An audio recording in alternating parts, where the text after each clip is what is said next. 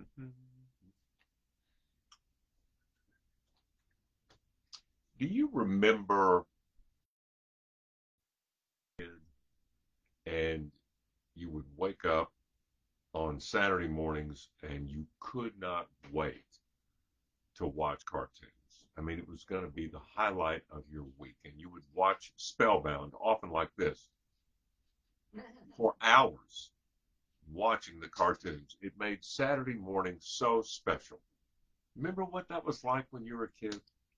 Well, now we invite you to get that feeling all over again with Saturday Morning Live, brought to you by Walnetto Arts and Entertainment, where we actually use imagination to imagine that a 73 year old can one day get a network TV talk show beginning like this. Hello Sure, and welcome. I'm Craig O'Neill. Yeah, I'm still wearing the THP pullover. Well, it's it's so comfortable. And, and welcome to our cabin. Although I know it looks kind of ornate to be a cabin, but it is a cabin, isn't it, Jane? Well, we call it that. It's a cabin. I tell you what, if you were My daddy built it in 1960s, Right. 69. if you were sitting here looking at excuse me, looking out there, this is the picture you would get. How you gonna do that? Let me show you the picture. This is the view right from where I'm sitting now. All I have to do is enter my passcode. See, I remember. How about that? I remember my passcode. That's our view. Isn't that cool? Not very pretty right now because spring hasn't come this far north, but it, at least the sun's coming out. Hooray! How about that? Everything looks prettier when the sun. How about out. that? That's the view where I'm sitting, right there. Look at that, Jim. Look at that. Is and that this cool? summer, you'll see. You'll see that floating by on the Spring River. How about that? That's my homage to Go-Go Clausen. Mm-hmm. She was famous. She would swim down that river to the bridge at the age of 82. No, you got that wrong. Well, 83. No, she swam the mile from here to downtown until she was 72. I like 82 better. we used to think that was so cool, and now we're, I'm we're year older than she was back in 1969. okay. Let's see. Uh, this is Hardy, Arkansas, and we have to congratulate this area because they're in Zone 1, and at the recent Arkansas tourism meeting in Jonesboro, Zone 1, including Hardy, which is just that way a mile, and We're this whole Hardy. area got Zone of the Year, the tourist zone of the year in the state of Arkansas. I think it's the first time they've won it in quite a while, and they're celebrating up here. So I'm just saying, we're in a popular place. How about that? Zone one. Congratulations. Let's see who else is here. We've got, uh, let me see. I can pick this up Oh, God. and read it. Sorry. We've, we've had a few accidents since we've been here with moving Mhm. equipment, but that's all right. I love him Okay. You're okay. We would like to say hello to Jim, who was a famous Pass the Ammo fan. Alicia Shooty Brown, it's good to have you here. And uh, Joy Cameron, thank you. Joy says we have a beautiful view and the sun. This is Oh, so weird. As soon as we start this show, the sun comes out. Now I'd turn the camera. Well, I guess I could turn the camera. well, in the winter, we can see the river from here. You know, I could turn the camera around and show everybody. Yeah. Oh, You I could. We're going to show y'all. We're just going Uh, to turn the camera around. I don't know. Go ahead and turn it around, Jane. It's Hey, stuck. It's Saturday morning live. We're all with friends here. So look at that. Does look that work? at that. Well, the sun's now back in. Uh, it's kind of coming out. Can you see the river down there? Folks, please disregard the Louisiana state of Louisiana on the wall. Oh. Okay. Jane's parents built this cabin and they both went to LSU. No, actually, some friends of our daughters brought that. Oh, okay. So please. Get it straight. And. Hey. Dury Aldridge says happy birthday, or says hi, Craig, not happy birthday. She says hello, Craig, from Bardstown, Kentucky. Ladies and gentlemen, we're going all the way to Bardstown, Kentucky today. And you know what they say? Once you have Bardstown, you've got the rest of the world. Oh, Really? Did they say that? Well, they do in Bardstown. Is the rock supposed to come now or, or later? Oh, ladies and gentlemen, I advertised on this show that we would have as a special guest The Rock. We would like to welcome now to the show The Rock. That's right, The Rock. Bring him on in, Jane. Come on in, Rock. Okay. I found this by the river. That's the underside. And I liked it that it had a head and a place for an eye. Uh huh. So, Here's The Rock, ladies and gentlemen. And gentlemen. it's a she, dadgummit. Get it right. How's that? Uh huh. I've just started painting her.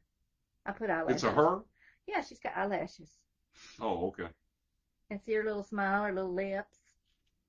But uh, I'm using Posca paints, acrylic paint markers right now, but I'll probably, if I keep her outside, put a acrylic gloss glaze over it to protect the colors. So But this really, really isn't these are The Rock. just for fun. This is The Rockette. She is the heaviest dadgum rock I've ever painted. Can I put her down now? God, she weighs about 10 pounds. Folks, that could be yours. No, Go to jfhankins.com. no, no, no, no. I'm not. I don't. These are not on my website. Oh, they're not on the website. They're not for sale al- yet. No, You know, if we you sold can them, always contact me uh, through my website or go to my Facebook page. I think we ought to sell these by the pound. Oh, heavy. Dollars a pound. We'd make thirty dollars in that. Well, Which this time yesterday, just sitting out there by the river, nothing. Now look at all the personality on this rock. I got some more to do, but you're not set up to see my work table. I have a little card table in the background. Well, we'll next time we're from the river, we'll set up. Let's see. We'd like to say hello to Michelle Ketzer, who loves the rock. Jane, Linda Cole, woo. She says woo. Oh, yeah. Hey, when Linda. you get when you get the Linda Cole woo, that's something you want to do. Good morning to Mark Carnes. we love Linda. Hi, Linda. From Fort Smith. Folks, we are going from Kentucky to Fort Smith. The show is growing. You know what the goal of this show is. Is a network TV show, and this is the ground floor. And this is a guarantee to everybody watching.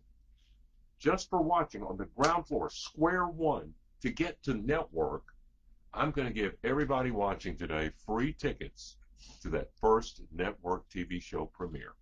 Hey, I've got your name scrolling. I can keep track. We can connect on Facebook. And that day that CBS puts me on Channel 11 with the talk show from, from, I don't know, where do y'all think it ought to be from? If I get a TV network show, should I be New York? Los Angeles? Anybody got any suggestions? Horseshoe Bend? Janet Riley? Or excuse me, Janet Riley from Horseshoe Bend? Not a bad idea. Very colorful. How about um, Leah Nugent? Leah, we could do it from here. Ooh, here's an idea. I got a better idea. When I get the network TV show, we go to everybody's house, a different, Hey, I got a better idea. different How week. about a podcast? Everybody says, and their uncle. well, the, now wait a minute. Okay. it's face it's Saturday morning live, then we do the podcast, then we do the YouTube channel. Boom, we get millions of followers. Boom. Network TV show. What do you I think? I thought you just retired. Can't retire. You retire. gotta slow down. I'm the one slowing down. Do they want to see my my big Sure. white fluffy dog? Sure. on? Go ahead. This is, Bring I'm, it in here. ah, I'm still working on some coloring pages, Look at that, y'all. and uh, this is the big white fluffy dog that takes the children up to Mhm. above the clouds at bedtime. so they can visit with the star babies. I'm not quite done with it yet, but um, this is my latest group of drawings have been uh, traveling to imaginary lands on fantastical beasties. So this was the latest one I'm working on. Cool. That is cool. I don't know if you can see it or not. My favorite, I can't tell. My favorite little person is that one right there. Ooh, that looks good. That little girl. She's just so happy to snuggle into that big That's fluffy dog. Sweet, ladies and gentlemen. The rock, Now, the pictures, it just keeps on coming. That's Walnetto. That's imagination. It just is non-stop with Walnetto Arts and Entertainment, bringing you Saturday Morning Live, where we want to say hello to Angie Grant Elementary in Benton. I was there this past Monday. I read to first graders, and it was the first Diamond book I've read of the new year.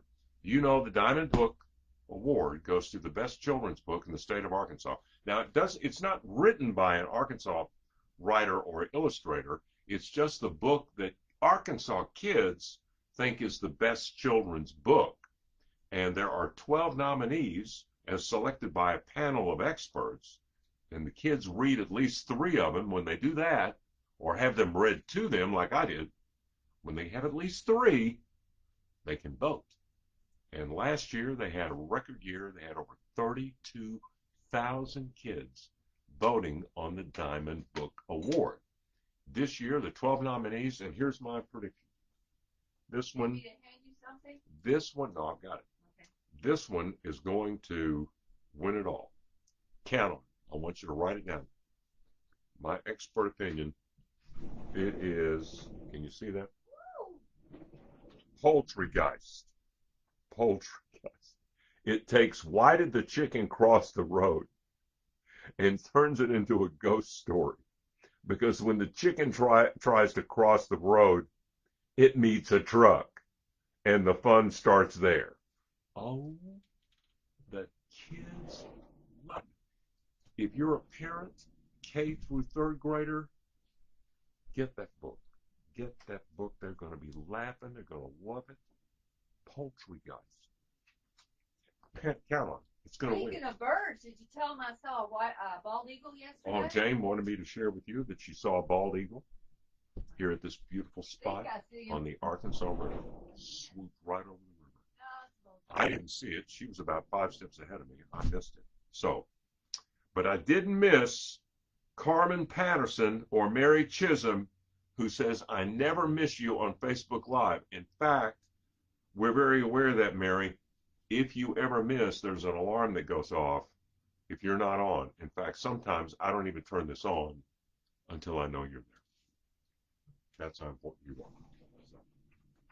Folks, this is a big week. This is a huge week. We go to Margaret Vann Elementary in Conway and kick off Read Across America Week. And if there was ever a week that you were going to read to your kids, this is the week. Read Across America Week. And I love this. Margaret Vann in Conway is going to have a parade, and kids are going to dress up as their favorite children's book character. Bet you we see a lot of Harry Potters. Anyway, and they're going to parade around the uh, cafetorium, and then I'm going to read a children's book. But anyway, read Across America Week. Second thing, the Garland. This is interesting. This is going to get political.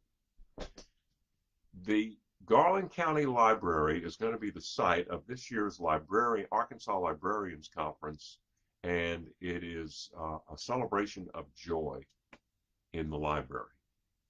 Now, one of the things they are, one of the reasons they're calling it that is because librarians have been, oh, under the microscope over the last year, especially in Saline County, where the county judge and the librarian got into it to the point where the the head of the Saline County Library resigned, and now she's running for county judge. Anyway, librarians have been, oh, villainized in a lot of circles for um,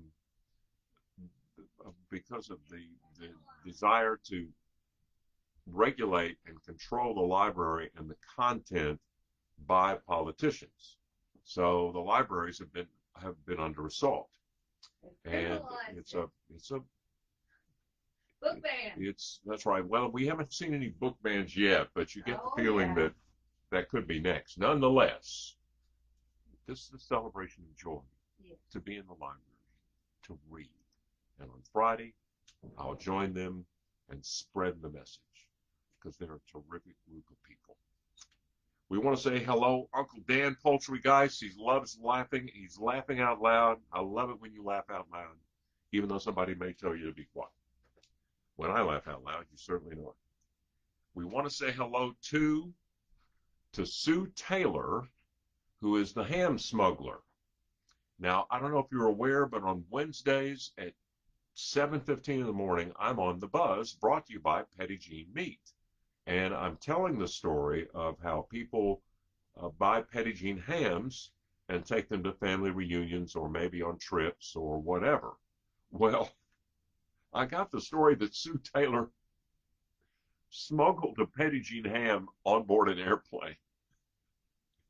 And I think she was discovered because the flavor of Petit meat is so good, even if you put it in the overhead bin, the flavor of Petit meat is going to get out there. She's going to get caught.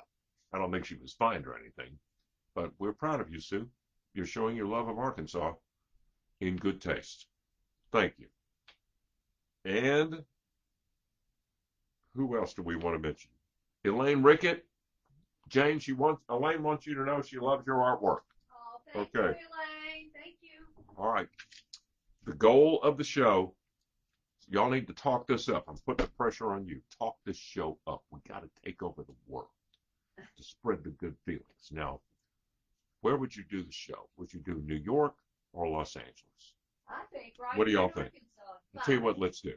Let's do a two minute poll. New York or Los Angeles? When I say go, y'all vote. New York or Los Angeles. Or if you have another suggestion, but those two. Here we go.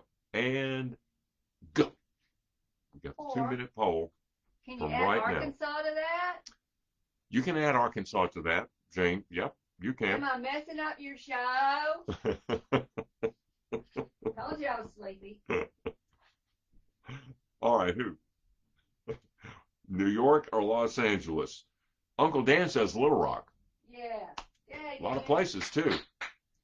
A lot of uh, empty storefronts. We could do it. Ooh, you could revitalize some storefronts and areas of Little Rock. Uh, Margaret Nanek says Chicago. Hmm. By the way, I was in Chicago and saw. Uh, I was in a store in Chicago, off right off Michigan Avenue one day, and Oprah Winfrey.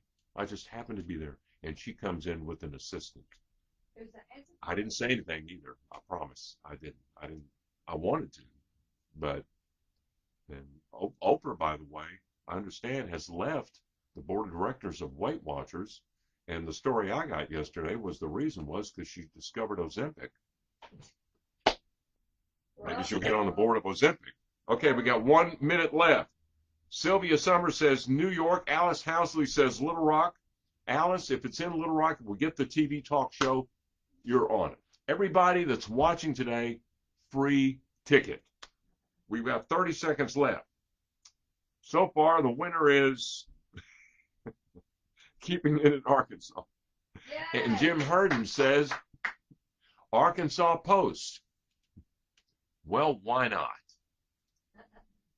Isn't that something? Arkansas Post was settled in the, in the 18th century, long before social media, and now Arkansas Post has a whole different meaning. Think about it. Okay, we have 10 seconds. It's going to be, it sounded like it's going to stay in Arkansas. It's neither, nobody said LA. It stays in Arkansas. Ladies and gentlemen, here's what we're going to do. When I get the network TV talk show, we go to Little Rock and we go to Arkansas Post and maybe Brinkley, which is halfway. So there you go. We settled that issue. James waving goodbye to everybody. It's 10:20. I got to run. I don't know why, because we're up here taking it easy and um, taking it easy and having a good time up here on the Spring River. Thank you all for joining us on Saturday Morning Live. I don't know what we settled today other than read Poultrygeist, coming to honor librarians on Friday. Spring River is beautiful. Congratulations to Zone 1 from the Arkansas Tourism Commission. And thank you all for watching. This has been Saturday Morning Live, where brought to you by Walnetto Arts and Entertainment, where imagination takes you from Hardy to New York, LA, Horseshoe Bend, Kentucky, and the Arkansas Post for an imagined TV talk show. Good morning.